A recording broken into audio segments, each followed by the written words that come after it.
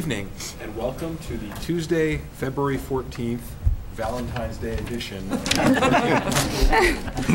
Uh, I am uh, Mayor David Narkewicz, and uh, this is a meeting that was uh, postponed from our normal meeting time last Thursday due to the snor- snowstorm, which is why we're meeting on a Tuesday. And I'll begin by asking the clerk to call the roll. Dr. Thomas Beard, Ms. Molly Burnham, Present. Ms. Rebecca Dubinsky, Present. Ms. Laura Fallon, Present. Ms. Ann Hennessy, Present. Ms. De- Mr. Downey Meyer, Present. Mr. Howard Moore, Here. Mr. Knighton, Present. Mr. Everett Present. and Mayor David Narkewicz. Present. Your Honor, you have a quorum. Thank you very much. Um, We'll begin the meeting with public comment, and I have at least one uh, our citizen signed up, Jeremy Whalen. And if uh, folks could identify themselves by their name and address for the record. Thank you. Hello, Jeremy Whalen, uh, 214 Pomeroy Lane in Amherst, and technology teacher at Northampton High School. Um, I, there's a couple of things on the agenda that are uh, coming up or coming up pipe. Um, are, there's a couple of uh, field trips that are coming up for the robotics. I actually just came from there. I got my, I got my uh, detective eyewear on right now. Um, and these are great experiences for the kids. It's through US First. Um, I've, you, you've seen some of these papers before if you've been on uh, previous uh, school committee in previous years. Uh, and it's kind of like a mixture of a, a rock concert with uh, a whole bunch of engineering and science fair mixed in. Uh, wonderful um, experience for the for the students and the student leadership uh, involved. That's the third through fifth of March in Waterbury, Connecticut, and also the 24th to 26th in Smithfield, Rhode Island. Um, I also want to. Um, there's a, a gift donation from Northampton Community Television in the sum of, I believe, uh, approximately $1,800 for 75 licenses for Adobe Creative Cloud. Uh, this is probably one of the most significant donations that we've got in regards to uh, accessibility for the things that we're doing at the high school. So this expands not only to it- it- it's not only in my room, but it expands outside to the to the larger school. We we uh, secured a license for 100. Um, it, it- 25 licenses for NCTV in in which students use uh, their facilities to create um, videos and uh, Photoshop. But also, this expands into arts and music and uh, the thing uh, and other computers uh, in the school. And it's professional grade software that is updated and recent, and uh, it's a wonderful resource for not only the students in my room, but uh, for the larger high school.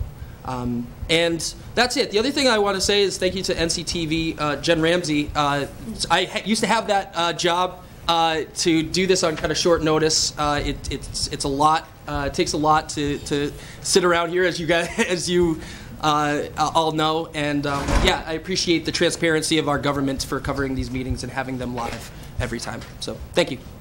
Thank you, Jeremy. Is there anyone else from the public who wishes to speak during the public comment? Okay, seeing none, we'll move on to the next item on the agenda, which is announcements. And is there any announcements? Yes. I do have one. Um, On February 16th, there's a forum in Holyoke, um, the implementation of the foundation budget review, commission on recommendations, and I think a number of us, I don't know the number, but Laura, Ms. Fallon, Mr. Reed, I, it's open house at NHS that night, sadly. Dr. Got it on my calendar. and Mr. Moore, and I will be going to that. Are you going, Mayor Narkewicz? I cannot because I have um, Open house at uh, the... city council on Thursday, so I can't. Okay, um, so a bunch of us will be going and um, asking if someone will report back at the next meeting. I'm happy to do that, but if anyone else would prefer to do that. I think you'd be great. Sold, I will do it, yeah. Thank you, Laura, for saying that. Uh, But it's a really important meeting and looking at the recommendations that the um, committee made, so, thank you. Okay, thank you. Any other announcements from the school committee?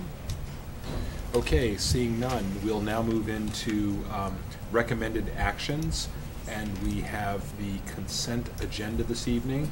Um, There are several items on it. Uh, One is the approval of minutes of the negotiating subcommittee of February 8th, 2017. Then we have four field trip requests, the NHS robotics team, US First Robotics Competition, Waterbury, Connecticut, March 3rd to the 5th, 2017, NHS Robotic Team U.S. First Robotics Competition, Smithfield, Rhode Island, March 24th to the 26th, 2017. The Leeds fourth grade going to the Connecticut Science Center in Hartford, Connecticut, May 31st. And then we have an NHS student trip to Costa Rica, um, April 14th through the 22nd, 2018. And uh, that is the consent agenda. Are there any requests to remove anything from the consent agenda? Yeah, I wanted to ask that we could have a discussion about the uh, Costa Rica trip. Okay, so we'll remove that from the um, consent agenda and, and take it up right after. Um, I Make a motion to accept the consent agenda with the um, removal of the Costa Rica trip. Is there a second? Second. All those in favor, please say aye. Aye. Any abstention? Any, any opposed? Any abstentions? Okay, so that consent agenda is approved. And um, uh, Mr. Reed, do you want to address your question or concern about the um, Costa Rica trip? Sure, and um, Ms. Dollard isn't here, but, but my, my question is not really specifically about that trip. It's, um, it's, it's that, um, I mean, I I admire the teachers who carry out those trips. They're great trips, they're great opportunities for our high school students. Um, But looking through our rules and policies, I'm finding out that I think in general, um, there's some, some issues there. So, um, for instance, um, you know, um, there's a, one of our rules and policies says that, um, see if I can find it here, if students are charged individual fees for participation, the district will make every effort to provide scholarships where needed. So, so there, there's a, supposed to be ideally maybe scholarship money. I think these, often these trips are, are not within the reach of low-income students or various other places where our policies conflict with the practices that have been going on for, for some years. So I don't want to vote against this field trip tonight. I just wanted to bring that up and ask that we refer that sort of larger question to rules and policies to try to figure out what's going on. Has reality changed since these rules were written? Do these rules need to change? Do we need to, I don't know, but I, I just feel like it's something I hear about, it's a concern, um, and I'd love to uh, make a motion that we refer that topic to the Rules and Policy Subcommittee. Okay. The topic, not this particular field trip? Correct. Okay, fine. So, um, uh, so, fine. There's a motion to, to ask the uh, Rules and Policy Committee to review our uh, policies with regard to field trips. Is there a second? Second. Okay. Any discussion? All those in favor, please say aye. Aye. Opposed? Any abstentions? Okay, so that matter's referred, and then could I get a motion on the, um, on the, the field trip that was taken off the consent agenda? Move to approve the field trip to Costa Rica. Second. Okay. Any discussion on that? Hearing none, all those in favor, say aye. Aye. Opposed? Any abstentions? Okay, so, um, so the, the matter of field trips generally has been referred to uh, Rules and Policy for study, and then the, the, all the trips this evening have been approved. We'll now move into the reports and recommendations uh, phase of the agenda, and we'll hear a report from our student representative, uh, Elena Fragamini. Hi, good evening, everyone. Um, so, in terms of Northampton High School news, second semester has begun. Um, students are settling into their new classes. Um, that seems to be going well. Um, for their final project, two students in Ms. Todd Hunter's History of the Holocaust class arranged for Carl Wilkins to speak at Northampton High School. Carl Wilkins was the only American who chose to stay in Rwanda for the duration of the Rwandan genocide. Uh, Mr. Wilkins spoke to classes throughout the school day yesterday, February 13th, and spoke at an open community event last night. It was really an amazing experience. He spoke to one of my classes, spoke about the genocide itself, and also um, how principles of respect and inclusion can be implemented in world affairs and also in our own classrooms. It was really a great experience, and huge thank you to the Northampton Education Foundation for making this event possible we were able to those students were able to secure an emergency grant to be able to fund for him to come and visit. So just thank you to them. Um, in terms of sports both the boys and girls track teams won the western massachusetts championships so congratulations to them. Um, winter sports are winding down and playoffs are beginning and both the boys and girls basketball teams are going to playoffs. So congratulations to them as well. Um, I did want to speak a little bit tonight about the new NHS Peer Mentor Program, which is something that I believe has been brought to you before and you may have heard about. Um, so, this program was originally formulated by the NHS School Council. Its goal is to create a community that fosters positive peer relationships in order to create a positive school experience and help make sure that all students, whether they're freshmen or transfers into the uh, into the district or the school, are taking advantage of all the opportunities at the high school so they have the best experience possible. This has really taken off. There's a huge enthusiastic group of peer mentors. Um, they're upperclassmen mentors, and students can contact their guidance counselor if they'd like to join their program. Um, the peer mentors have been using the Sit With Us app, which is an app that students can use to find students to sit with at lunch. Um, the, the peer mentors mark themselves as ambassadors on the app, and there are open lunch tables where students can find people to sit with. So that's a really great thing that's happening, and I look forward to seeing where that goes, and I think the rest of the school does too. So that's that. Okay, thank you very much. Um, The uh, next item on the agenda is a report from the Rules and Policy Subcommittee with some uh, votes on some uh, second reading rules. And I'll turn it over to the chair, uh, Ms. Fallon. Yeah, so uh, we will be um, discussing four policies tonight. I don't have the order they're listed. Um, Sorry. The first, I think, is the rules of procedure. Um, Okay, so the first is rules of procedure, and the proposed change was just um, to reflect the fact that we would like subcommittee assignments to be for the two-year term rather than every year. And so we were striking under 2.2 within one week following the first meeting of the calendar, changing that to in January following an election year. The chair shall appoint the various subcommittees. And then in 2.3, we had proposed the subcommittees shall each elect their own chairs at their first meeting of the calendar year. Um, And so I would um, move to approve the uh, rules of policy as, as presented. I'll second that. Okay. So we've had a motion made and seconded on adopting the uh, changes to our rules of procedure. Any discussion? Yes. I'm going to offer an amendment um, to bring the um, paragraph 1.3 into conformity with um, paragraph 2.2 by um, striking of each calendar year with um, in January following an election year. That's my Second. motion. So there's been a motion made and seconded on an amendment. Are there any, any discussion on the amendment? Hearing none. All those in favor of the amendment, please say aye. Aye. Opposed? Any abstention? Okay, so now we're back to the main motion, uh, which was made and seconded. And um, any discussion on that? Hearing none. All those in favor, please say aye. Aye. Any opposed? Any abstentions? Okay, so the um, updated rules of procedure are adopted. Proceed. Okay, the next um, policy is policy IKF, graduation requirements. Um, This is the second reading, and we will be voting on it.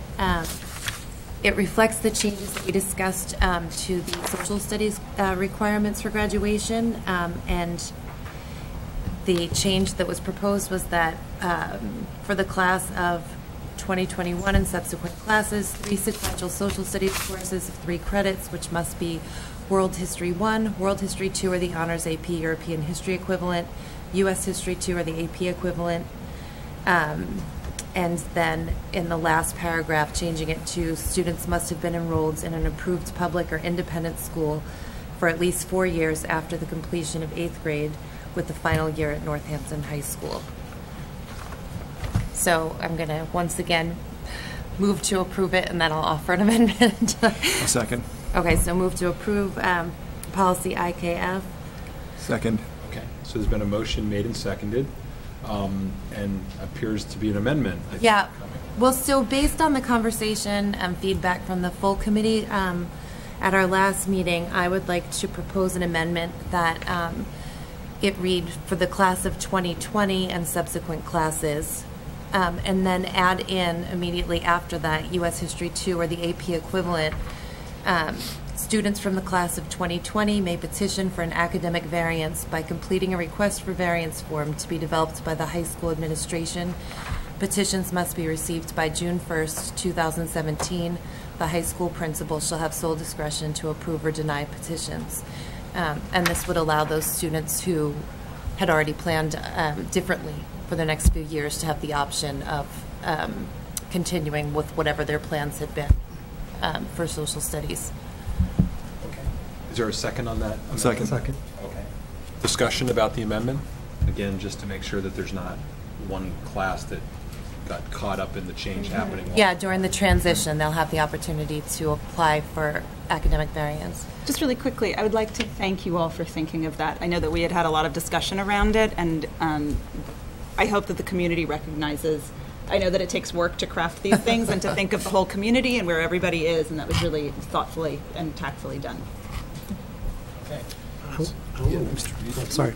Just want to add to that and say a big shout out of appreciation to the history department at the high school and at the middle school who have developed this really rich program. I mean, I just think this is such an exciting. I just can't believe how smart our kids are by the time they finish high school in terms of the history that they know, and it's a real credit to uh, our teachers and our administrators that that this is happening. Oh, I I'm just had a quick question. Um, does the policy read that all classes, like 2020 and then onward, can petition to have it changed, or it's just the class of 2020? Can Nope, petition? Just students from the class of 2020. Just the ones who will be caught in the transition year. So there's been a motion made and seconded on this amendment. Oh, I'm sorry, Downey. Is it- is there, um, So it's in the sole discretion of the principal. Is there any thought as to what the standard will be for granting it, or is that? I'm just in terms of, since any, since, you know. Arbitrary and capricious.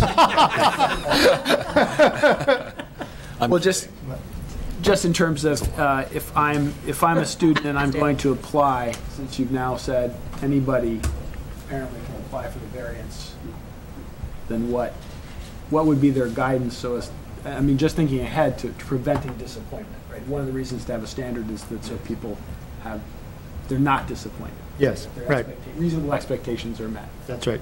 So this is not, I, I, I do not believe this is a standard of jurisprudence, but I think the expectation is that they would be offered liberally um, for students who are able to demonstrate that they had, you know, something else planned before this change took effect. Would that be part of the variance form, perhaps, as to guide, you know, guidelines as to what, again, stu- students are presenting a case for their variance, so again, I think, would the variance form sort of request that you lay out the reasons for, or what the alternative, how the alternative satisfies? I'm just trying to think about, making sure that that is incorporated in the form, so you don't have some students maybe who have more support being more advantaged in getting a variance, and those who have less support. I think the expectation was to really have guidance take a role. I I don't know if Principal Lombardi wants to speak to it, but yeah, It would be, the form is just the um, dialogue initiator. Um, There would be, guidance would be involved in the, re- um, to be a meeting. It wouldn't just be a form, stamp it for approval or denial. There- there would be, Okay. you know, Dialogue, um, hearing, as Dr. Provost said, you know, what has been your plan when you started the history sequencing, um, and a very liberal application. And so that, that, would that be um, as part of the guidance conversation? Because it's, you said that the deadline is going to be this spring, June 1st, yeah. So so, as, when we're- we're beginning the registration process for um, classes for next year in uh, March, and we have class meetings. So when we meet the class of 20, 2021 2020, we'll be laying out, here's the old sequence, here's the new sequence, and laying it out to them. Some of you are on this track, and if you want to stay on this track, we'll explain to them the, um, the aspect for um, doing the waiver. okay, thank you. Okay. Um, Any other questions about the amendment? Hearing none. All those in favor of the amendment, please say aye. Aye. Opposed? Any abstentions? Okay, so now uh, we're back to the main motion as amended, uh, which is the approval of the updated policy. Um, Any discussion of that? Hearing none. All those in favor, please say aye. Aye. Opposed? Any abstentions? Okay, so the graduation requirement uh, revision is accepted. Okay, um, next is um, policy IHBGA, home education students and the attainment of Northampton High School credits. This is an- another second reading, so we will be voting on it. Um, It really just serves to simplify the, the policy, um, and we're striking m- much of the language in the first paragraph and then removing all four points from the middle of the document. Um, Do you want me to read the entire document? Or does everyone have it? One has it. Okay. Um, There any requests for reading. so- Okay. Um, so yeah, so the, the other change would be at the last paragraph. At any point before their 21st birthday, a home education student may enroll and thereby accumulate credits towards a Northampton High School diploma or a certificate of completion. Um, so I would move to accept this policy. Is there a second? Second. Okay. There's been a motion made and seconded. Um, uh, Any discussion on the policy? Any amendments? Okay, all those in favor, please say aye. Aye. Opposed? Any abstentions? Okay, The third policy is adopted. Okay. Last is policy JF, school admissions. Um, This we are simplifying by um, just retaining the first two paragraphs. All children of school age who reside in the city of Northampton will be entitled to attend the Northampton Public Schools, as will certain children who do not reside in the city but who are admitted under school committee policies relating to non-resident students or by specific action of the school committee. Every student seeking admission to the Northampton Public Schools for the first time must present a birth certificate or equivalent proof of age acceptable to the principal. Proof of vaccination and immunizations is required by the state and the school committee. Proof of residency of legal guardianship may also be required by the school administration. Um, And we have removed all the rest of the language um, and some of the legal and cross-references that are no longer appli- applicable. So I would move to um, accept file, I'm sorry, policy JF. I'll second that. Okay. So there's been a motion made and seconded on policy JF. Is there any discussion or questions? Oh, Mr. Moore. Yes, I have an amendment. Okay. I would like to offer an amendment um, to, to end, to add to the second paragraph of policy JF, there are some federal laws that um, make an exception for students who are homeless or who are, who are in foster care. And um, so the amendment I'm offering is failure to meet the requirements of this paragraph will not prevent the admission of students who are homeless or in foster care. Could you read that one more time? Failure to meet the requirements of this paragraph will not prevent the admission of students who are homeless or in foster care. And the reason for those exceptions in the law has to do with the fact that frequently homeless students who are homeless or who are in foster care it takes a long time for their documentation to catch up with them and they end up not being able to go to school. so that's the reason for that exception. So there's been uh, an amendment uh, placed on the floor and seconded. Is there any discussion of the amendment? Oh, seconded. I'm sorry, the chair seconded it, so, um, or at least I thought she did, so you seconded it. So is there any discussion of the amendment? Hearing none, all those in favor, please say aye. Aye. Any opposed? Any abstentions? Okay, so the amendment is adopted, and we're back to the main motion, which is the approval of the policy. Any discussion on the overall policy? Hearing none, um, all those in favor, please say aye. Aye. Opposed? Any abstentions? Okay, so the four policies are adopted. Is there any other um, report from the Rules and Policy Subcommittee this evening? No, I think that'll do it. Thank you. Okay, thank you very much. Um, Next, we will move on to a required vote uh, to approve the NHS 2017-2018 uh, Program of Studies, and Principal Lombardi is here, and uh, turn it over to you. So I believe you all have a copy of this? Okay. And I think highlight, the one that you received highlights of the changes were in red? Correct. So I can go through each one, or the specific ones people have questions about, what would you prefer?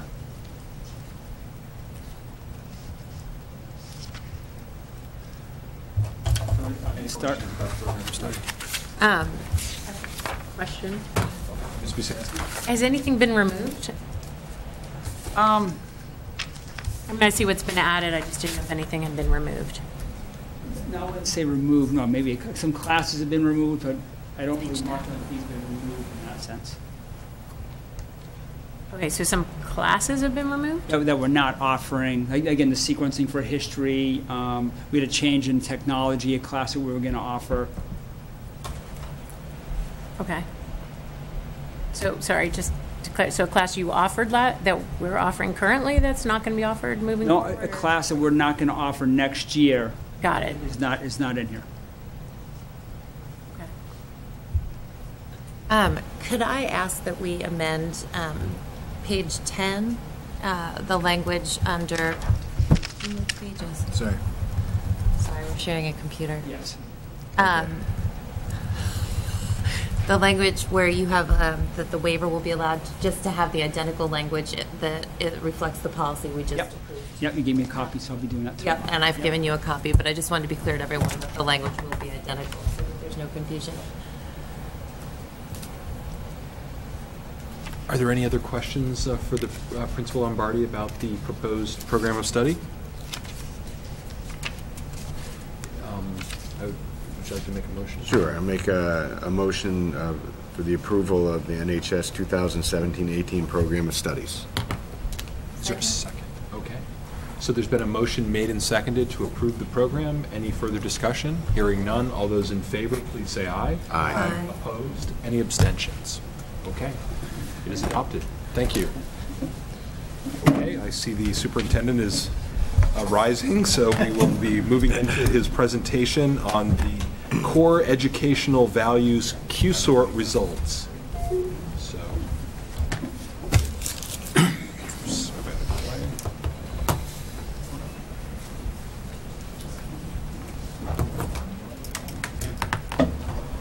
Let's go.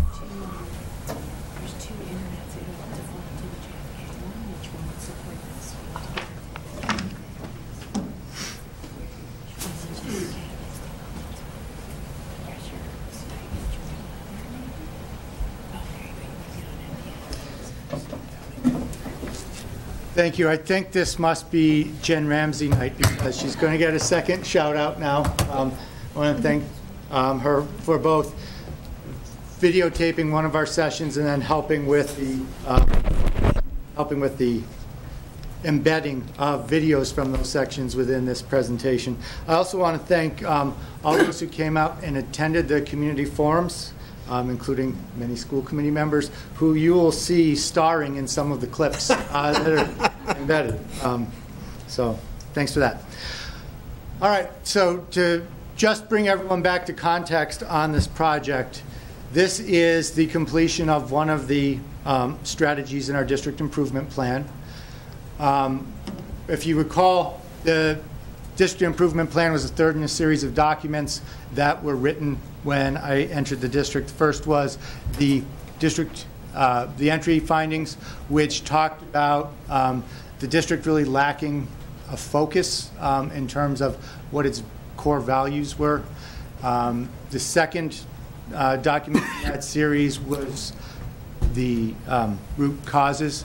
And that one of the root causes that was identified related to that was that, you know, a lot of decisions were apparently being made um, for non-evidence-based and non-values-based reasons, and a lot of it was um, just conflict-based. Um, And so one of the strategies that came out of the district improvement plan, which was the third goal, or the third document in that series of documents, was uh, to try to develop the district's core values. And so this is the theory of action from that strategy. Um, The theory of action said if we provide systemic collaborative structures and support systems that um, I'm actually going to not read that because that's a different theory of action. Uh, we had a theory of action that talked about um, identifying what the core values of the district were, and then um, the goal of the then the district would be able to sort of have a more consistent frame or lens to look at for making its decisions. Oops, not too far. So the process uh, began actually in fall of 2015 at the open houses. We had sentence starters for participants in the open houses, um, which began with the, the phrase, Northampton Public Schools should help students. And then we invited people to complete the cards. We rec- received over 300 cards at the six open houses. Um, the cards were filled out by individuals who um, represented all walks of life. Many of them were from kids. Um, many of them were from non-parents. Um, many, most of them were from parents. Um, we then uh, sorted through that series of 300 cards and found that we really came up with 24 statements that were repeated over and over again. Um, and so we reduced the deck to those 24. There were a few outliers, but there weren't um, many of the ones that were not included in the set of 24 were ones that were like specific to an individual employee or, or things like that. Um, there really was a great deal of consistency. So then we took our uh, 24 statements based on the 300 cards and tried them out with a group of graduate students at UMass. People who were not involved with the process at all, but said, okay, so here are the cards we got. Are you able to understand them? Are you able to sort them? We got feedback on the cards that allowed us to sort of uh, tighten up the language um, and reduce the um, confusion about the statements themselves. We then submitted the revised um, statements back to them to see if, if they felt that the, the statements were improved and allowed for discrimination between the statements. And then um, when we were confident that we had our deck, we sent them out for translation into Spanish and Arabic and started holding Q-sort events. Um, there were many, many Q-sorts. Um, I would say probably about a score, if, if not more, um, held over the, the course of last spring, the summer, and then early this fall. Um, we went to all kinds of events that brought parents to schools. First of all, because we felt that it would not be very compelling to just send out an invitation for people to come in and do Q sorts. Um, and then we also administered the Q sorts in school for students in grades 5 through 12. So in the end, we had 1,756 usable sorts. I say uh, usable because we did have some more, but we had to throw them out because people broke the rules. You know, there, as you recall, you did it. Um, you had only one statement you could make your most important, and there were some people who said, no, they're all important. I'm putting them all in the first box, so couldn't really use those. Um, we did have also some uh, sorts that were unusable because they had errors. Um, we had some where people used the same statement twice, which you know makes it uh, difficult to analyze. But in the end, we had 1,756 usable sorts, which I think is a really excellent sample size for a district of 2,700 students. Um, then, based on the um, results and the analysis that was um, performed on the results, we came up with a sort of provisional explanation for what the results said. We'll talk about that a little bit more. We then had two community meetings where we revealed sort of our provisional um, uh, interpretation and asked for feedback from the community. And then we made adjustments based on that feedback. So tonight, um, I'll be sharing with you sort of the revised uh, values based on those, based on the feedback. And um, we're envisioning this as sort of a first reading with hopeful um, values statement adoption at the next school committee meeting. Um, I will just point out this was a well-traveled sign. The sign went to every school in the district. This sign went to picnics. Um, the sign went to science fairs. Um, it was sort of my traveling logo for several months. What we found, which was interesting, um, in fact, so interesting that we spent a lot of time trying to figure out if we had made a mistake, um, was that we had all single factor solutions. Um, when, when I talk about single, single factor solutions, what I mean is the um, analysis done of the sorts revealed that there was really only one way of sorting the cards that came out over and over again. This is a depiction of what a single factor solution looks like in um, the sort of printout that you get um, when you run the analysis. Um, this is called a scree plot um, because if you're familiar with mining operations, the debris is just sort of thrown out into a pile and it kind of looks like this hell thing. And think about the important thing is what piles up and then just sort of leftovers go trailing off the edge. And, and this one, and, uh, and in all of them really, we had a single factor solution, meaning that first item, component number one, had almost all the variance explained. And then all the rest of the factors that you could throw in were really just adding minimal additional interpretive power. So the rule when you're analyzing this is you go to the elbow. There's another, I mean, we have all these metaphors for things in the physical world, but if you can imagine that as an arm, you can see where the second component comes in there, it changes direction, right? So that's an elbow. So that's a, a single factor solution. Um, and so we ran many, many, many um, tests of the, the sorts, and we kept getting this result, which is interesting um, because I really thought that in community as diverse as Northampton, there would be many factor solutions. You know, that that elbow wouldn't come until very far, you know, down the, down the number of components. Um, now, important to note that not every individual was a member of Factor 1, but what it says is the sorts that weren't a uh, member of Factor 1 were not like each other in any way. So it's not like there was an alternate way of sorting. Okay? Um, now, I'll, I'll, show you what the results were. First, um, the only real difference that we found, um, if you recall on the back of the sheet, we were requesting all kinds of demographic information about the individuals because we thought there might be affinity groups that we could identify. And the only really compelling difference was adults sorted a little bit different than the kids. So I think after conducting this extensive analysis, I believe there may be a little bit of a generation gap. Um, but here's, here's what the, were the highest rankings on the adults cards. Now this is all kinds of adults, whether parents, um, teachers, ESPs, other community members, grandparents, anyone who you would consider basically not a student, um, this was the solution.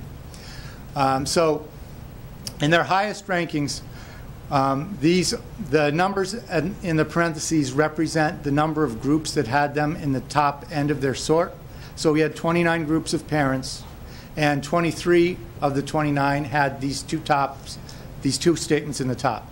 Discover their interests and help them reach their potential, and develop kindness, empathy, and compassion. Then 22 of the 29 groups had the next set of four statements. North, Northampton Public Schools should help students become lifelong learners, respect and appreciate diversity, learn how to learn, develop a love of learning. 20 groups had developed confidence as a highly ranked item. 19 of the 29 had developed social skills and improved mental or emotional well being. 17 of the 29 had become aware of matters of global concern and engaged citizens in their local community. And 16 of the 29 had have hands-on learning experiences. We didn't continue that analysis any further because then you're getting into the minority of groups. Um, so that those are statements that really, even if they were high in 15 groups or high in 14 groups, would not be representative of that majority of, of adults. So that tells you something about what they were sorting for. You also have to look at what they were sorting against. Now remember, this was from a group of 300 statements that were all put in the jar because someone thought they were good. And what we had said, the directions that we gave to people doing the sort is if you put it low, it doesn't mean you think it's bad or you're against it. It just means you wouldn't value it as highly as the things you put in the higher positions. So it gives you relative value. So here's what was in the low rankings.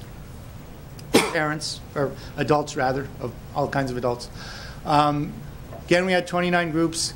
23 groups had everything on the left-hand side here. So it was by protecting them from the stress of grades and assessments, becoming involved in after-school extracurricular activities, i.e. clubs, intramurals, etc., avoiding substance abuse, by improving the school lunch program, getting adequate sleep, participating in athletics and recreation. So those are all low values for adults. Then 22 of the 23 had by helping them become proficient technology users and limiting overuse of computers and other technology. So that's a really interesting finding. It's kind of ambiguous there. Um, it's kind of like no real interest in helping students become better computer users, but also no real interest in trying to limit their screen time. Um, and then 16 of the 29 groups had discriminate between reliable and unreliable information. I have to say, all these sorts were done before fake news and alt facts became a thing. So that might be different if we had redone it now, but um, still. And then prevent bullying, we put on there just because it becomes important in the kids' results. It was really low, you know, um, in the parent. We had 14 of the groups um, sorting that low. So when we analyzed kids, it became more more um, revealing to analyze the results by school. And remember, we're dealing with all single factor solutions, so um, you're getting the same things with all those groups of kids. Um, so remember, I just said among adults, preventing bullying had a relatively low value. Here, the groups represent schools. So in six of the six schools, students said preventing bullying was important. Um, six of the six schools developing social skills and improving mental or emotional well-being and having hands-on learning experiences, all ranked highly by kids. Uh, in five of the schools, there was also high value on discovering their interests and helping them reach their potential, developing kindness, empathy, and compassion, developing confidence.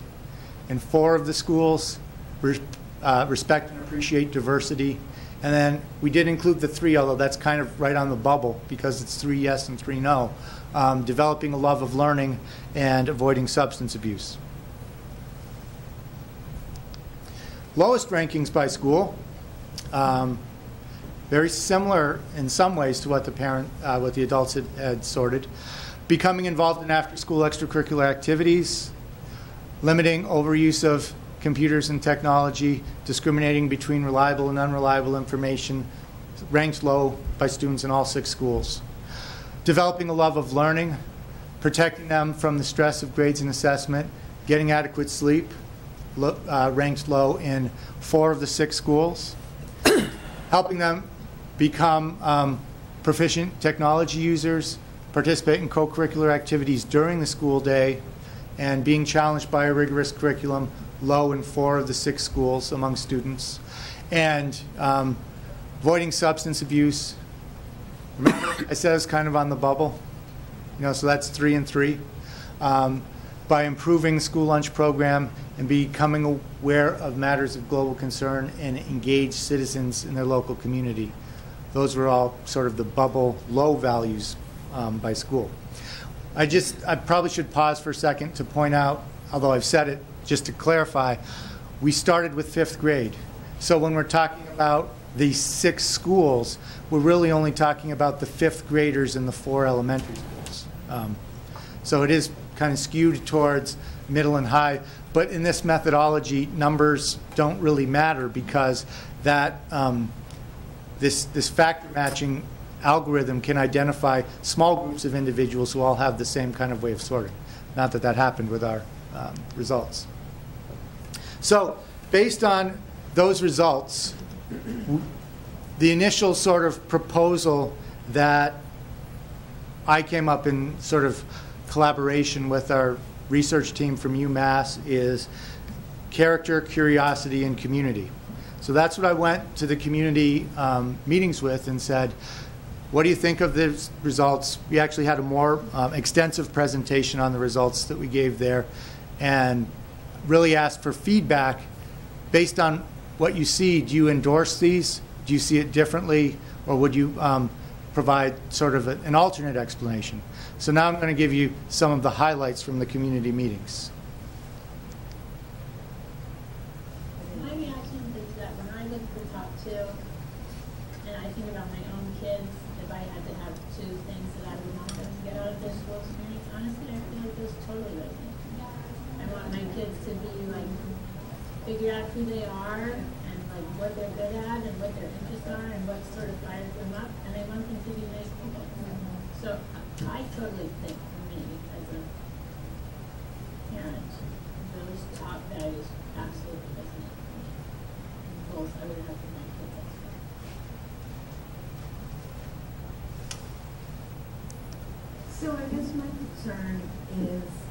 reading through all of those, it says, reach their potential, develop their interests, learn how to learn, love to learn, and that doesn't, character does not summarize that for me. I think he was calling that curiosity. Or curiosity. It's, st- curiosity does not No, summarize that for me. It's more than curiosity. Yeah. And so that, so curiosity feels empty to.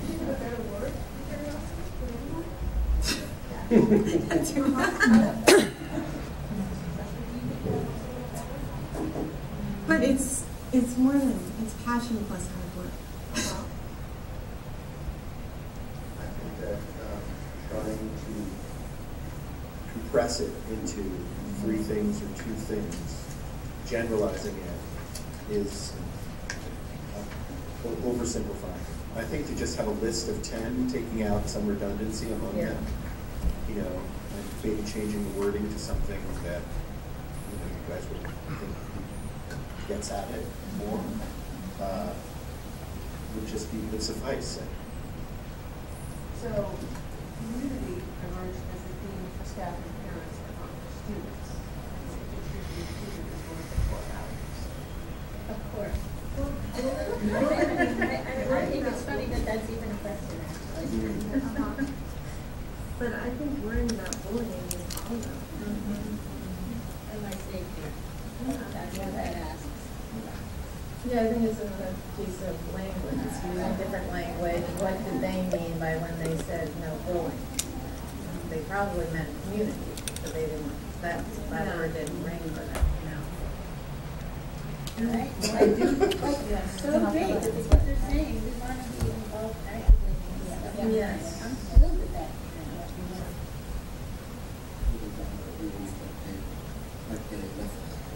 Right, right. And it was ranked Whereas- higher by kids than parents. Well, yeah. Yes. Well, it's interesting that they seem to have picked more kind of very specific sort of actions. Yeah. And parents and teachers picked more kind of overarching mm-hmm. themes, right? Like prevent bullying and as, you know, you said, comparing it, you know, or, you know, right, sort of equating it to, you know, developing kindness and empathy and social skills. Like that's sort of the, to me, that was more the umbrella. Prevent Yeah. bullying, avoid substance abuse, have hands-on learning. Those are, you know, develop a love of learning and passion and interest. More umbrella. Yeah, exactly, from their perspective. Right. Well, I mean, you could argue that having hands-on learning leads to a love of learning. Right, that's I my mean, point, is that's that's how, you very. you know, they're saying, this is how I want to learn. Yeah. So if we help them learn that way, they're going to love learning, rather than sitting being lectured to. So, a- again, I think it's just, it's sort of so interwoven, all of this.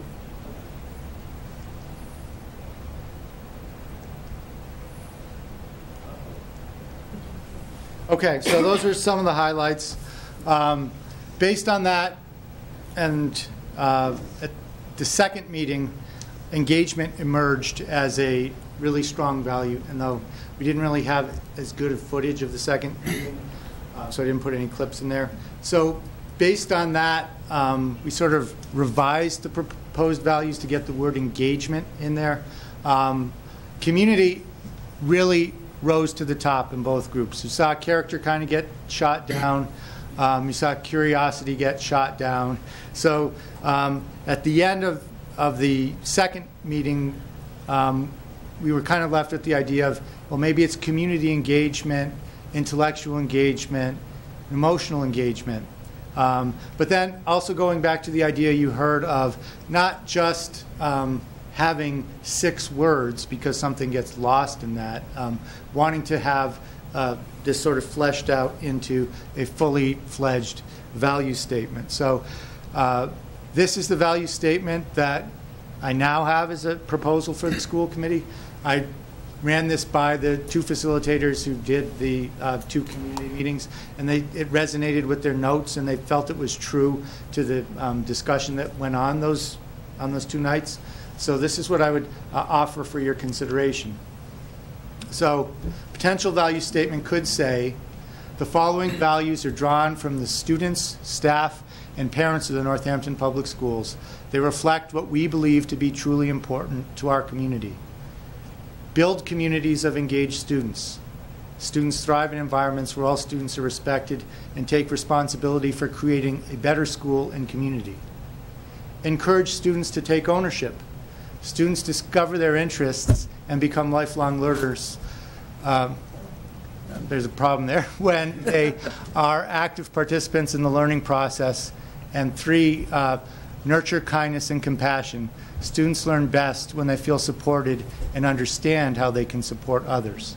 I think um, this really captures the community response to the um, the quantitative results, and I think it would be a really strong value statement for the committee to adopt as sort of their lens for evaluating the many decisions that come before it. So I would just uh, end with that and um, turn the process back over to you.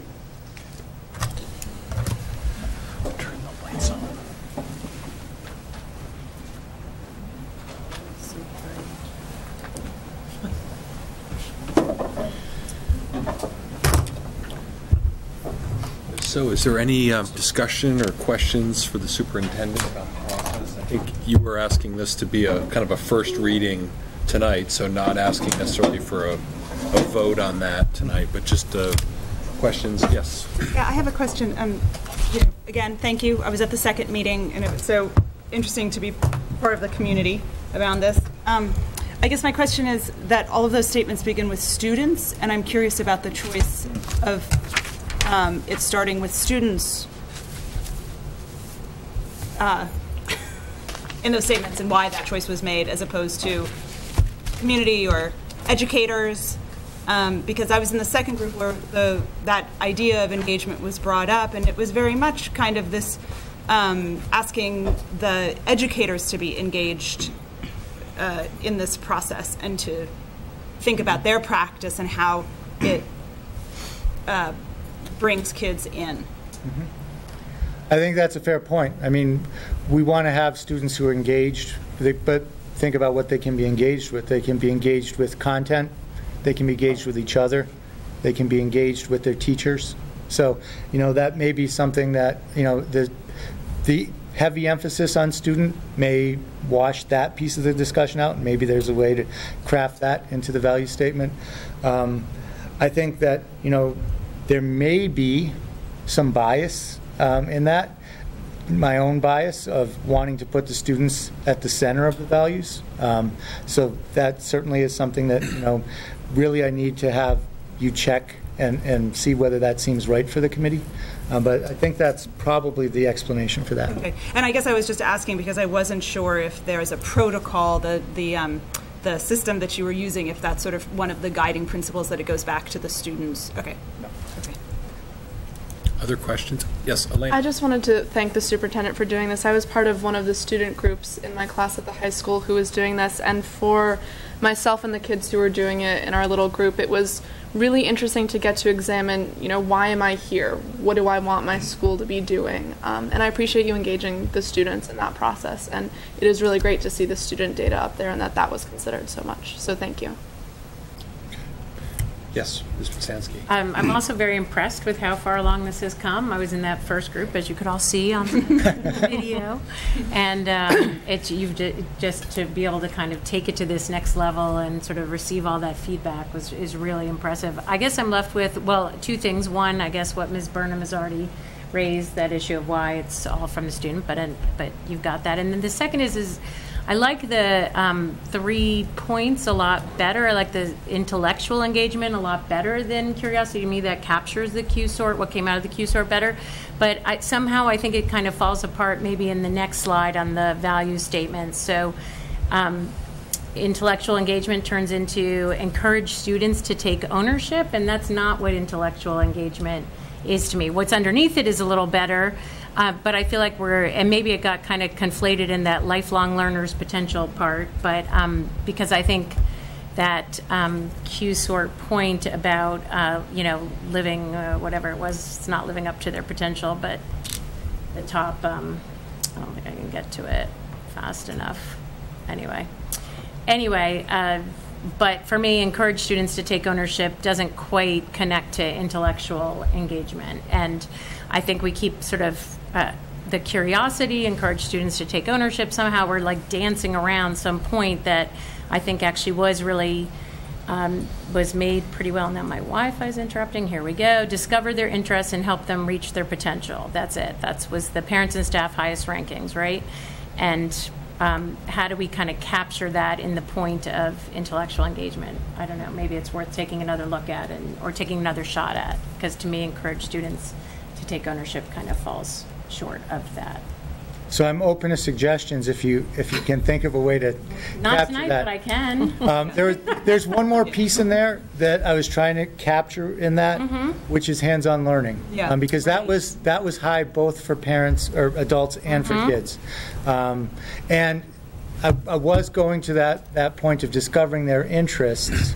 To me, ownership was a piece of that because we can't know what our kids' interests are. We need them to reveal them, right? We need to help them get to that. So. We need to help them. Maybe that goes back to the, Ms. Burnham's point about not having this all about students, all from just the student is responsible, the student is responsible. Maybe that's, that would kind of help flesh that out a bit, I'm not sure. Yeah. And I'm, Burnham? I absolutely am happy, not tonight, to try to do anything. Um, But I think the, the, um, you know, one of the interesting things to put into the mush is that um, there is going to be a conflict. You know, we have, that students must learn certain things. And um, so there are, it's not about them owning that. They're being told they have to learn that. And we, as a community, need to own that that is a norm, whether we like it or not. There are norms. We're saying these things are of value. And as adults, we are making choices. And, but, and, I mean, and we, we want uh, the students to to we want to hear what the students want, which is why you know you have you get to take other classes that are choices too, and we want their engagement. So it feels like it's more of a two-way street, and to put all ownership on the students just kind of feels phony. Yeah. You know, you're, you're triggering a memory f- from me. Um, as you know, I, I took some of this um, sort of preliminary data on the road and um, presented it in Milwaukee. And one of the one of the responses I got from that group was, "Doesn't anybody in Massachusetts care about math or reading?" You know, no one put that in the jar. So isn't it interesting that no one did? So um, just about the ownership piece, I don't know whether it's to say, take ownership of their learning. I mean, one of the things that um, at, at the high school that I teach at, we had all of the seniors required this year to do a senior capstone project.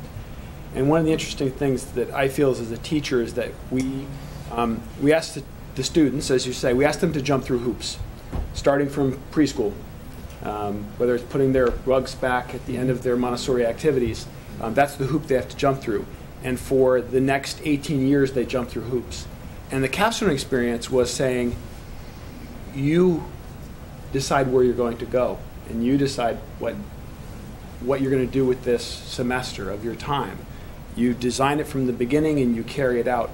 And I'll have to say, one of the discussions we had was how unprepared the students were, and you would expect them to be, because you can't work within a system where you're, the hoop is held and you can hold it really high, and that's great. If you can jump through that really high hoop, then you're a great student. Or we can hold it lower for you. Um, and I think that that, to me, is more valuable than the subject matter knowledge that we give our students will be the ability to define their goals and then get to them. Because when I look back 40 years now at you know my formal education in the K through 12 system, it wasn't necessarily the students who were the straight A students who have gone, who have been the most successful or contributed the most to their communities. Um, it's those students who, at the earliest age, began to define what they wanted, and that's the ownership piece. And so, I mean, I think you know we do care about math, but um, those things that we force you to do, that knowledge and that learning, those experiences will be fleeting. And so, I, I really think you know, and, and I don't know, with our high school representative here, um, to think about when you look at your four years at Northampton High or look back on your experience in Northampton Public Schools, how many opportunities have you been given to chart your course and really feel like, and I, and I appreciate as a teacher, I mean, I want to be there, but to the extent that we can make students feel like they're more in charge, because that's what I think, I mean, hands-on learning is one of the most unhelpful phrases. I hate the phrase because it can mean an activity where it's really hands-on but no learning takes place, or it can mean something that's spectacularly effective. But I think what the when students use hands-on learning, they're talking about their direction of the learning process. Um, and it could be just hands-on editing of a piece, a group editing of a piece. It could be a hands-on lab. So I, I think that that's a critical, like, I think it's critical, and I, I really like the student focus. Um, I, you know, I understand that from the staff perspective, for me, it is all about the student outcomes. And it, looking at this as a teacher, I, I feel it's, you know, I would say this each morning when I got out of bed. This is what I want to do today. Um, and if I, you know, if I hit these goals, if I hit two out of three or maybe one out of three, that's a that's a good aim.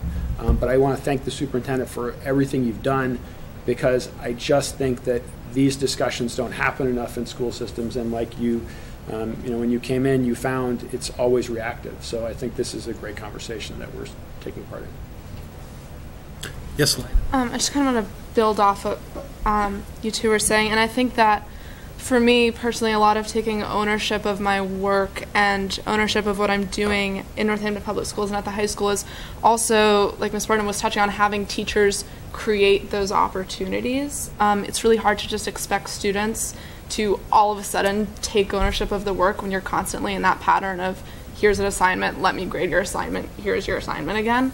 Um, so, for example, I'm enrolled in a communications and media production class right now, which Mr. Whalen was really instrumental in creating.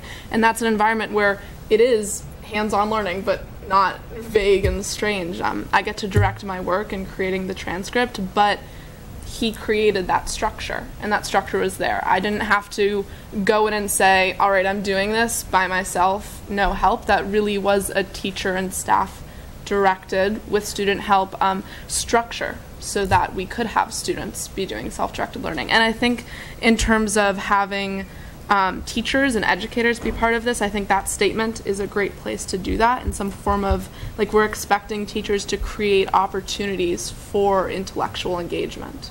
Um, I, just, I think that's a great place to put in that aspect that we should be expecting teachers to create opportunities and students to take advantage of those opportunities. I Just want to give a shout out to you because you actually are changing it tonight. Way to go, Northampton students. Okay. Any other, uh, any other comments or questions about this? Actually, I do want. I have one last thing to say because I, I do really really love this and I, I find that I get so excited. Um, the thing I, I do because I feel like it gives us an opportunity to talk so wonderfully about um, you know about our values and I just I, I really really appreciate uh, this work and that it will touch on curriculum. And it will touch i mean it will actually the whole thing is curriculum because um, we have some of our special education team in the back and they talked about the social emotional fragility of our students and that is curriculum. So so there's this academic curriculum and there's the there's the emotional curriculum and there's community. I, I just I, I find it really amazing and I, I just i really appreciate it that's it Yeah, and I, and I, I, I just want to comment. I think that so much of this, those things like the, the, the reading, writing, arithmetic, and also some of the things that are, weren't ranked highly that clearly people value and participate in. You know, after school activities at the high school are full and growing, and and you know, sports teams is like half of the school participates in some athletic team. You know, there's, it's, it's clearly not a not valued thing. I think likewise, reading, writing, and arithmetic is not unvalued. I think instead, what people really, the way to view this is these are sort of the overarching values that we hope inform all of those activities. And I think that's really, I think, how to look at it, not as in we're going to build communities at the expense of learning math. It's that we want to make sure when we're learning math that we do it keeping taking in mind how this is a community of learners and how this is, you know, a community of diverse learners and how this, you know, and so on. so these values can overarch that. And I think then that raises the tension you talked about, which is that there is this tension in here of so many of our measures of success are make all of these things seem irrelevant. Right? They have to do with how did you jump through the hoops, um, and and so the thing is then I think as a way to try to try to make it be where it's not dishonest to be saying no we, we recognize that one of our projects here is that we have these hoops we, we're jumping through. Try to actually legitimately try to do them with these values as opposed to being we're going to do these values but then we're going to go over here and take some tests it's like no how are we going to prepare for tests and how are we going to take tests and how are we going to interpret tests in light of these values and I think that's the that's the way you can do it so it's not dishonest. So you're not busy saying, "Oh, we all just care about how you feel, but right now you better learn these 14 things and recite them back." It's like, no, we care about how you feel, and you're going to have to learn these 14 things and recite them back. But we want we do care about how you feel while you're doing it, and we want that to work because you know because we have these values. So I think that somehow there's a way to figure that out. I'm not sure what it is, but I think it's there. Other comments and questions on the Q sort, Ms. Fallon? I just want I, I love what you said about um, creating opportunities for students to take ownership. Um, I think that would be a great change to make, um, to make it more of a, rather than just kind of a Encourage. passive encourage, to make it a real, like, this is part of our responsibility to create those opportunities. Um, so I, I, I love that you said that. I would, I would really like to see that reflected in, in number two, the second one. Okay, okay so thank you all for, for that, and thank you, uh, Dr. Provost. Um, We'll now move into the next item on the agenda, which is a discussion of the 14th Amendment implications for schools. And I have uh, Dr. Provost and, uh, and Molly Burnham. Should I begin? Sure. Um, so I know that as a school committee, we have been um, very aware from the beginning, um, since the presidential election, and particularly since ex- a certain executive order, that um, certain citizens were feeling uh, nervous and scared. And we were hearing and researching this idea of sanctuary schools, which had been brought forward um, to a number of our attention, if not all of us.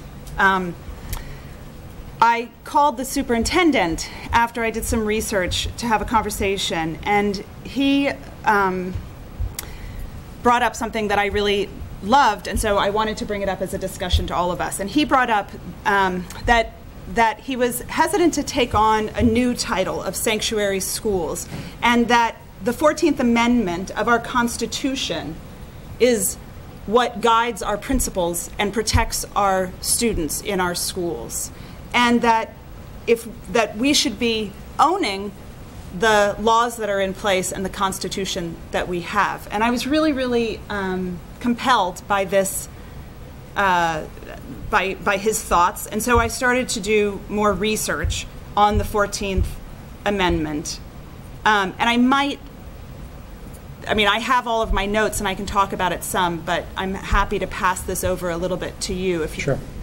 want to, and we can play tag team. Sure, okay. Um, I, as I was thinking about what I might say tonight, I think it's very important for me to begin by saying that I'm not an attorney and I'm not a constitutional law scholar.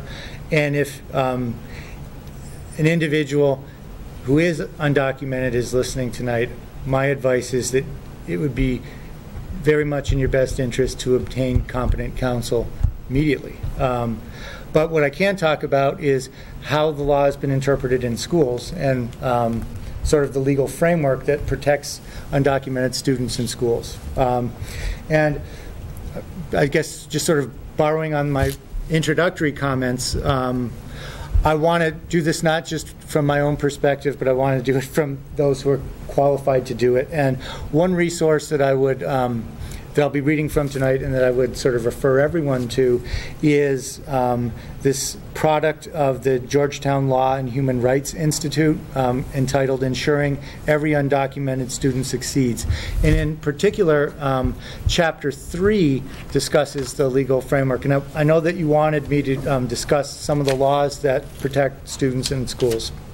Um, and so, you know, as I had said in our discussion around modifying the student handbooks, the really critical um, case to look at is Plyler versus Doe. Um, and there, in my um, comments to you on that case, I had shared some of the quotes from that um, decision. But I guess I will share this one because I, really believe that the folks at Georgetown are able to cut to the chase better than me. Um, so, a quote they wanted to share from that uh, decision was The pivotal role of education in sustaining our political and cultural heritage uh, means that the denial of the education to some isolated group of student poses an affront to one of the goals of the Equal Protection Clause, the abolition of governmental barriers presenting unreasonable obstacles to the advancement on the basis of individual merit. So that's really um, a key phrase from this landmark decision. This then becomes incorporated into other statutes. Um, so, an, another important protection for students is Title uh, Title VI of Civil Rights Act of. I'm, um, I'm sorry, actually, this is at, prior to that, but this is um, um, a law that is important in the decision. The Title VI of the Civil Rights Act of 1964 and the Equal Opportunities Act of 1974, and the, um, which both prevent discrimination on er- any areas of public administration, which is how um, protections for students get um, sort of put up in public education.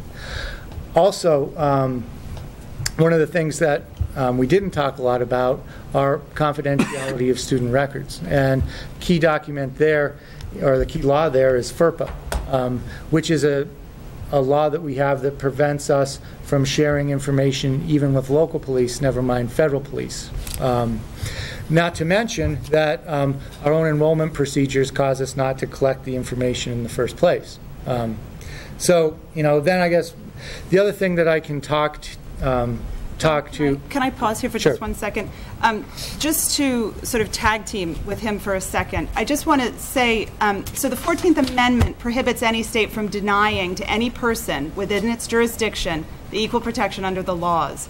So, in the case that John is referring of Plyler versus Doe, it was brought before the Supreme Court in 1982, and the court decided that a group of children, the children of undocumented workers, could not be denied free public schooling. To say this again, and in other in the words of the American Immigration Council, states cannot constitutionally deny students a free public education on account of their immigration status.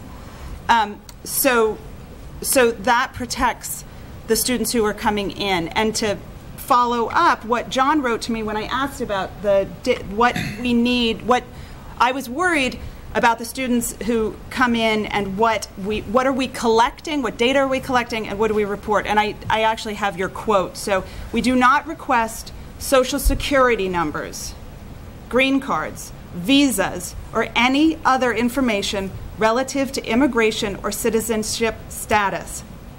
The one exception would be the international student program we are trying to stand up, the start up. So that's a different, we understand that's a different um, guiding principle.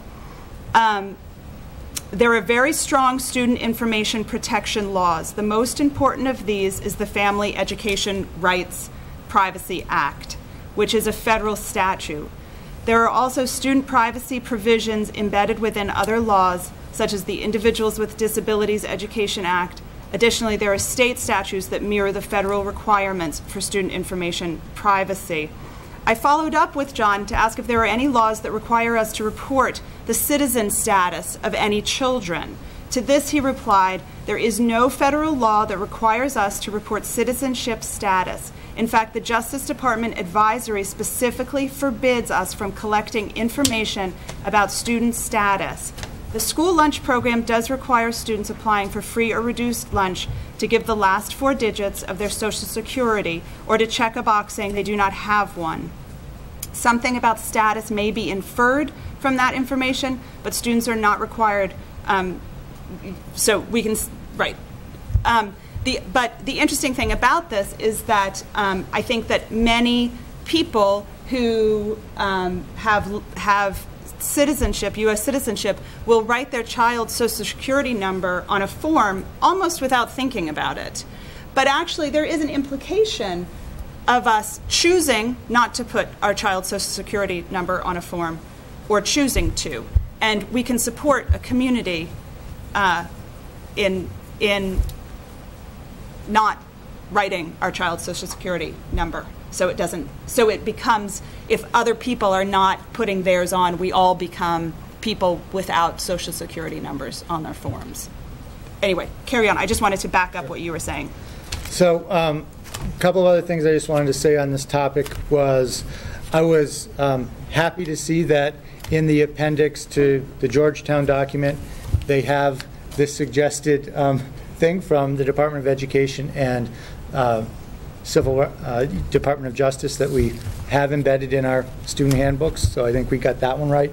Um, I think that um, it would be important for the community to know my guidance to principals. You know, um, so far, and I would say this is true up to um, a meeting that we had about a month ago with all the superintendents in Massachusetts. It is unknown, it has never happened, that it, um, an official from ICE has, you know, appeared at a school and said, produce Johnny Jones. Um, in fact, one of the things I learned um, when doing this research is there's actually a policy statement from ICE saying that schools are one of the um, institutions that should be excluded from ICE um, entry. So, but I don't put a lot of stock in that because policies can change, and I don't put a lot of stock even in that because, um, to get back to my prior comments, that even under that guidance, what ICE was doing in many of its so-called raids was um, getting students to and from school. You know, so that's why I say that it's really important for individuals to be uh, guided by competent legal counsel. However, I, I do think it would be important for me to, to let the community know that we have sort of contemplated, well, what if the day comes? You know, what if an agent from ICE shows up at our schools? And so the current um, policy, the current status that we have is for the principal to intercept the individual and then to contact me and the school committee attorney for further guidance. Um, not to share any information, not to um, share, produce any students, um, but to seek immediate um, legal assistance. So, you know, they're very, they're very tricky times. They're very difficult times. Um, one of the things that I, I found sort of heartbreaking is I was going through this, which chapter three is the you know legal framework that protects kids, undocumented kids in schools. Chapters four through ten are all the different things that have happened to sort of undermine that, you know, in larger society. So um, we, I, I think I'm, I can confidently say that our schools are safe places for undocumented students, and that we have um, the right policies in place to protect them while they're at school, and we would like them to come to school. Um, but we can't make that decision of whether leaving your apartment and going into the community to come to school is safe. You know, that's that's a decision that needs to be made on a case by case basis. What we can say is, if you, when you come to school, we will protect your kids. I have a question. I lo- by the way, this is so important to have, particularly in this time. What if a we have a lot of events at our schools, and what if a parent is at our school? What would happen then if ICE came in? What is our role and responsibility if that were to happen? That's a great question. As you know, a lot of those events, there aren't a, prin- there, Yeah, there no, an I know. administrator present. Yeah. Um, something we haven't thought of, something we need to put some effort into figuring out. I'm guessing the mayor could answer this. So, but being a sanctuary city, the police don't have to cooperate with the federal agencies as far as ICE in carrying out their orders, but are they allowed to intervene in any action that's being taken? Yeah, we don't have, you know, our policy is very narrow, very specific and very narrow that we won't honor um, what are called administrative detainer requests. And I think we feel fairly confident um, under the 10th Amendment uh, that our officers cannot be asked to carry out federal programs. It's a fairly, um, you know, well understood legal tenet that they can't be commandeered um, to, to perform actions relative to a federal program. Now, um, if an ICE agent were to come and had a warrant and, and you know, carrying out an action, um, at this point, our policy does not say that our police will engage somehow in blocking federal agents. Um, I would just say that I think, you know, I think Northampton's a fairly low, uh, low on the priority list Right. in terms of where ICE raids are, are happening right now. Mhm. Um, they've identified 16 major metropolitan areas where 98% of you know the undocumented uh, residents live in America. And I, I, you know, Northampton's not on that list. Um, I think Boston may be, Greater Boston maybe, but I don't. I didn't, on the list that I've seen, we're not on that. So, um, so I think it will be up to um, uh, you know schools and houses of worship and um, other institutions, which the superintendent correctly says, ICE policies have identified these as as sort of areas that they're they're not focusing on. But again, you still have bus stops and you have people driving in and around communities. So I, I don't know. Um, but no, our, our status is that we aren't cooperating. I, we don't believe we're required to cooperate, and um, feel like we're on safe legal ground in that regard. Right, I I didn't know know. if you were allowed to do the opposite of cooperate and actually intervene if they said that they're not supposed to be in a school and yet they were to show up at a school during a school event. Could calling the police actually help? Do you know what I'm saying? We've talked about that a little bit internally, but um, I don't have a clear answer for you on that. Um, I hope we don't come to that point. Um, so, sort of lastly, and um, I- I look to this community, the school committee, to help me with this. Um, w- I, I know that as a committee, not that I've spoken to any of you about this, but because I know you as individuals that you care, um, I feel that as a school committee, um, it feels like a time to um, to uh, the the the request that we sort of declare ourselves as a sanctuary school is more a request. You know, it's not a. It's we have to. We do have to abide by laws, and that's what we're sort of talking about. But um, but it's that we stand unified by these laws, by the 14th Amendment, and protecting our students, which is what we have control over.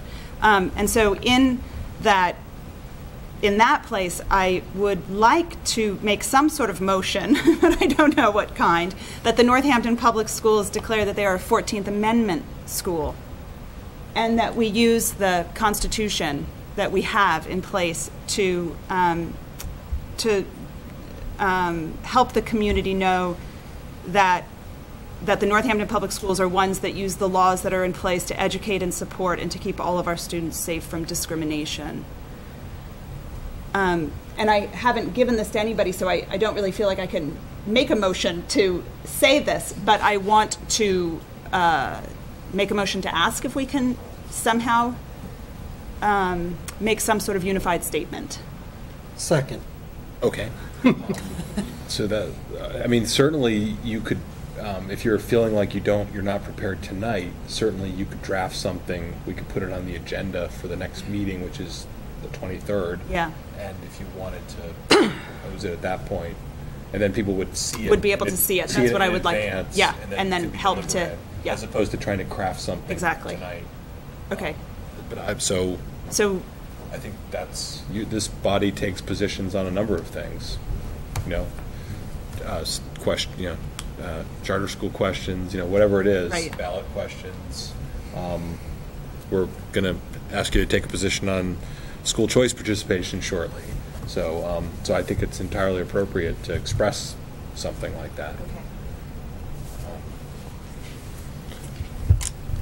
I don't Where know. do I go? So I will prepare a statement. Sure. And It can be in the form of a resolution, it could be a, a brief, uh, you know, resolution of some kind. or- An interpretive dance.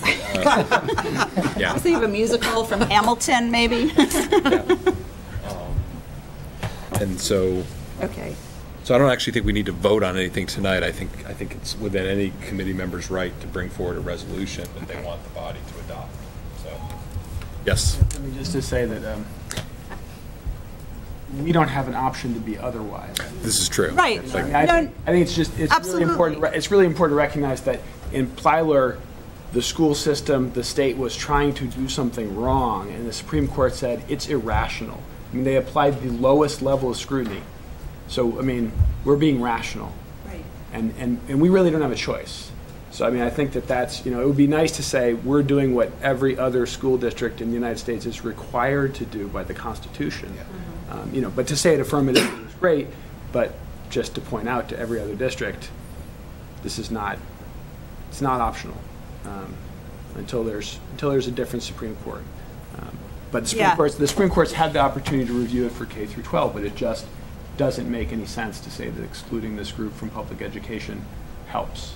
Um, so I- you know, I'm, I, I hope that we say it, and I hope that we provide assurance to those members of the community that that you know we continue to do this not as a choice, but because it's required by the Constitution. The Constitution is way above school committee policy. That's right. That's right. And I think the, the, the requirement is actually not an affirmative requirement, it's a limitation on the powers of government. We are not allowed to treat people differently. It's equal protection of the law applies to persons, and they are people. It's, it, that's, that's a key part of, I think, the school in Plyler's argument was, well, citizens, not. This 14th Amendment applies to people. And so it's really not, it's not saying that we are required to do something. It's saying that we are not allowed to treat people differently. It's a limit on government. Okay, so, thank you both for the presentation, and then uh, Ms. Burnham will be bringing forward a statement at the next meeting for us to consider. Okay. Okay, so now moving on to the next item on the agenda. This is the required annual um, uh, discussion about school choice participation and whether or not uh, the Northampton Public Schools will continue to participate. So I'll turn this over to Dr. Provost. Okay, this has, uh, the participation, as far as my knowledge of the history of it, has not been controversial, although the way the, the motion is supposed to be has been controversial at some point. Um, Just for the public's information, we currently have 228 students choiced into the Northampton Public Schools. Our budget um, proposals are very much dependent on that. The budget proposal I'll be bringing next week is dependent on that. My strong recommendation is that we continue to participate in the choice program, um, although I think possibly the, the proper format may be to say that we do not choose to opt out of the choice program. But either way, I just want, I I would request a vote that says we keep taking choice kids. Okay. I think that the confusion always comes up because we would be opting out of school choice, and so how to, how to word it has always, in the past, we've worded it in a way in which we voted no, which wasn't to opt out, but to continue to participate. So I think what the superintendent says is true. Um, However, we make the motion, or I make the motion, it's a motion to continue to participate in school choice. And that's what I would offer. Okay. Um, So there's been a motion made and seconded that the Northampton Public Schools will continue to participate in the school choice program. Any discussion? Hearing none. All those in favor, please say aye. Aye. Opposed? Any abstention? Lisa Minnick, if you're watching, forgive us for what we may have done. Okay. Uh, Let's move on to the next item. This is a uh, gift, uh, a vote to accept a gift uh, from NCTV, uh, 75 Adobe Creative Cloud seat licenses to the Northampton High School. Uh, Ms. Walslick? Yes, you actually heard Mr. Whalen describe this in quite a bit of detail earlier, so I'll just um, summarize again that it has a value of $1,875, and it's a gift from the Northampton Community Television. Okay. Motion to accept the NCTV and 75 Adobe Creative Cloud seat licenses for NHS. Second, any discussion? All those in favor, please say aye. Aye. Opposed? Any abstentions? Okay, so that gift is gratefully uh, accepted. Thank you, NCTV. Um, Next, we'll move into the Business Administrator's Report, followed by the Personnel Report. You have your monthly budget appropriation report. Um, As we've said for the last couple months, the budget continues to be tight. We've still got a couple of accounts that are frozen um, in the hopes that we can cover deficits in some accounts, and we're also continuing to cross our fingers that it stays 40 to 50 degrees for the rest of the winter to help out in the utility accounts, which would let us offset some of the other deficits. Um, Advanced placement exams, this kind of took us by surprise. We, we heard probably about a month ago that the federal funding that had previously been directed to the College Board to fund the AP exam costs for low-income students had actually been taken away from the College Board, the federal program um, took the funding away. It will eventually direct that funding to the state, and we will be able to apply for grants to the state. There's a big question on whether that's going to happen in time for this year's advanced placement exams. So our intent right now is that the district will end up picking up that cost. We don't feel it's fair to turn around in the middle of the school year and go back to kids who signed up for advanced placement courses expecting that they would have a um, fee waiver based on income status. We don't think it's fair to go back to them now and say the game has changed, even though the federal government changed the game on us. So our intent would be that we will try to identify what we believe is about $5,500 to pay for those fee waivers for those students this year. As we go into next year's budget proposal, we'll be bringing forth ideas on how we can deal with this in the future. And then the last item is just an update on the gifts that have been accepted since the last meeting. There was one PTO gift accepted at JFK. It was $500 from the PTO towards the Quebec City trip, and that money is being deposited to the student activity account, which is where the rest of the trip funds are. And then there were four gifts accepted by the superintendent. One was an annual donation that comes in for special ed programs at the high school from Packard's Restaurant in the amount of $500. And then there were three donations of library books for JFK from Tracy Olson, Jane Reeds, and Steve Hinks that had a total value of about $200 um, in books to our library. And then the personnel report, being mid-year, it's much smaller than we see sometimes. Um, we had five hires, a librarian, three custodians. We've had a fair amount of turnover this year in our custodial ranks, but we've managed to fill three of those positions. And then a long-term substitute teacher for the rest of the year at the high school and an ESP. And then there were two separations, a cafeteria assistant and a custodian. Okay, thank you very much. Now we'll move to the superintendent's report. Thank you. Um, There are a lot of things happening in the district, um, continuations of old projects and some new things. So this month's report is really like a laundry list of updates and announcements and some new things. Uh, First of all, I just wanted to point out that tomorrow, February 15th at 6:30 at the JFK Middle School Library, um, families are invited to attend an informational meeting about our kindergarten program. Um, Kindergarten registration is then scheduled for March 1st, 2nd, and 4th. All the sessions will be held at JFK Middle School, and the Saturday session will feature fun family activities, including games, a storyteller, and a big yellow school bus. Um, So forms and details are on the kindergarten webpage on the district's website. So, moving to the category of follow-ups, I'm happy to report that we received the results of air quality testing at Leeds School. I authorized the air quality sampling at the same time that I authorized the temporary roof repairs because there were um, some concerns about, you know, whether the leaks were causing um, any degradation to the um, environment. So the results indicated that there's no indi- uh, presence of fungal growth. Um, we weren't able to stop all the leaks in the uh, roof because we had a snowstorm in the midst of the um, repairs and snow has not melted. Uh, it's only added up. So we still do have some leaks, um, and um, based on the report, we're just going to continue our practice of replacing ceiling tiles until um, we have a permanent solution when the roof is replaced this summer. Uh, I can also report that most of the cabling and switching problems with our technology infrastructure, um, we believe are now resolved.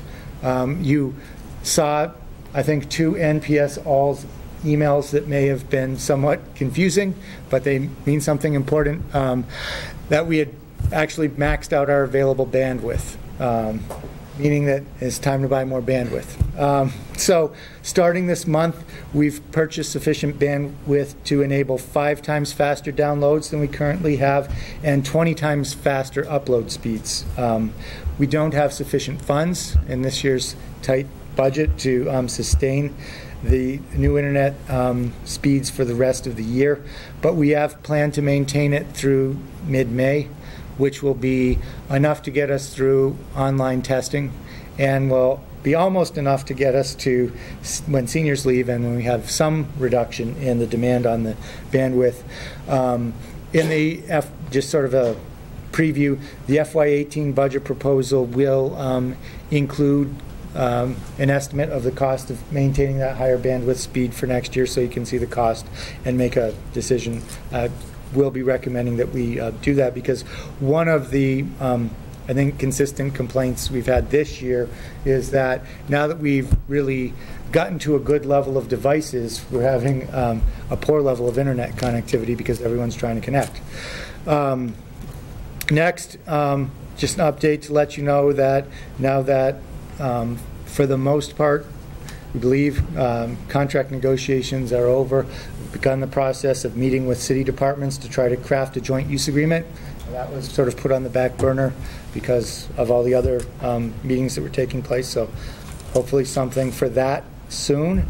Um, Also, I'd like to thank Laura Fallon and Hennessy, Chief Kasper, and all those who uh, participated in last night's High Five Forum. Um, This was a continuation of a discussion that had begun at prior school committee meetings concerning the program. I think it was a very uh, productive exchange of ideas, even though it didn't result in a concrete plan of action for a possible modification or replacement, which sort of was our hope. Um, We did get some hints at what might be able to um, what modifications might be able to address our shared concerns about anti-racism and implicit bias. And I think it just was an opportunity to build relationships, and I think that certainly is helpful. Uh, I would like to thank Elena and Laura Fragameni for inviting me to participate in the Crossroads Anti-Racism Workshop sponsored by Montessori School. Um, it was another great opportunity to reflect on the work with a group of educator and parents who were not previously part of my professional network, um, but I think will be um, strong partners for us. Uh, as I pointed out at last night's High Five Forum, anti-bias training is um, embedded in our district improvement plan. It's actually scheduled for next year. Um, So I think it's good that we're building um, contacts and resources in that area. And in another preview, the FY18 budget proposal will also include funding for that training. And then finally, in the category of general school improvements, um, we've completed exterior LED lighting projects at Jackson Street and JFK. Um, The light replacements were funded through a green community grant, so there was essentially no cost to the district for replacing the lights. Um, It's expected that the new lights will save approximately $7,000 annually in energy costs. We are seeking grants to allow for the conversion to exterior lighting at our other schools as well. And that is my report for this month. Excellent, thank you. Um, The, uh, we have no new business items. Uh, We do have some future business and meeting dates. Uh, Rules and Policy Subcommittee on February 15th, uh, 3:30 PM in the Superintendent's Office. Budget and Property Subcommittee, February 16th, 2:30 PM in the Superintendent's Office. School Committee meeting, uh, February 23rd, 7:15 PM here in the JFK Community Room. And then School Committee meeting on March 9th, 2017, uh, again here in the JFK Community Room. We next have an item on our agenda, which is a request for an executive session, and I'll ask the vice chair uh, to make a motion. I'll make a motion for a request for an executive session the JFK Principals Conference Room under Massachusetts General Law Open Meeting, Chapter 30A, Section 21A3, to discuss strategy with respect to collective bargaining, NACE, and to discuss strategy with respect to litigation, civil action number 15-30156-KAR whereas an open session would have a detrimental effect and further details would compromise the reason for going into executive session. Is there a second? Oh, sorry. Is there a second? Okay. Um, I'll ask the clerk to call the roll. And the uh, vote would be yes or aye to move into executive session. Ms. Molly Bennett? Aye. Ms. Rebecca Udinski? Aye. Ms. Laura Collins? Yes. Yes. Yes. Aye. Yes. Uh, Mayor Denver? Yes. Aye. Um, Okay, so I would like to advise the public that we are going to move into an executive session because to have these conversations uh, would be detriment, in public, in a public setting would be detrimental. I also want, to our, to our bargaining strategy and our litigation strategy, I also want to advise the public that we'll, we will be adjourning from executive session. So we will not return to open session. Thank you.